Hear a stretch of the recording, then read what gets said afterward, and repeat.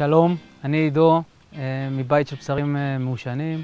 היום אנחנו אה, נעשן פה נתח יפהפה של בריסקט או חזה בקר. אני מעשן את הנתח אה, ב-135 מעלות צלזיוס, אפשר גם לעשן אותו ב-107, אפשר גם לעשן אותו ב-120. אנחנו יכולים להוריד פה קצת מהשומן העודף, שבעצם לא מועיל לנו לתהליך הבישול. אפשר טיפה לנקות את החלק התחתון. נטבל את הנתח, אנחנו ניקח את השפריצר, שפריצר הזה יש מי סילן, הוא עוזר לי להדביק את הרב לנתח. הרב הוא מורכב לנו מבצל מיובש, שום מיובש, רוזמרין, פלפל ומלח. ועכשיו אנחנו ניקח את- תערובת התבלינים ונפזר אותה בנדיבות על פני הנתח.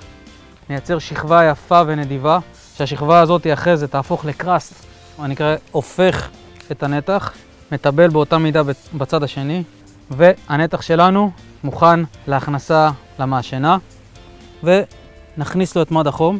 אני בודק את הטמפרטורה, הטמפרטורה טובה, אני פותח את הביצה, יש לנו פה נתח אסדו יפהפה שהכנסנו לעישון לא מזמן.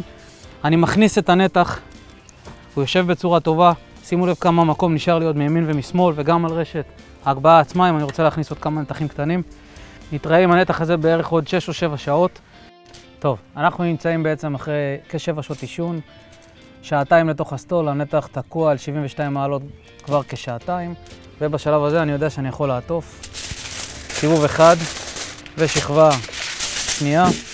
עכשיו הנתח מוכן לחזור uh, לביצה, להמשך uh, בישול עד הגעה ל-93 עד 95 מעלות uh, פנימי. כמובן שנחזיר את המתחום לנתח ברגע שהוא יחזור לתוך הביצה, כדי שנוכל לש... uh, לנטר את הטמפרטורה ולהוציא אותו בזמן הנכון, כפי שנראה בהמשך.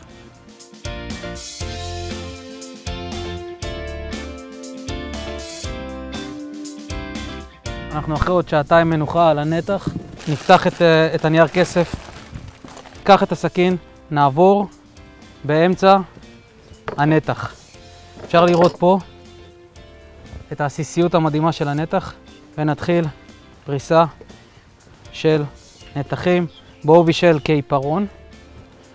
אנחנו נגיש את הבריסקט עם טיבול שהכנו מראש. יש לנו פה בעצם שומן אבז מומס וקונפי שום, ואנחנו בעצם נפזר אותו על פני הנתח ואראה לכם בריסקט מדהים, מוכן למאכל.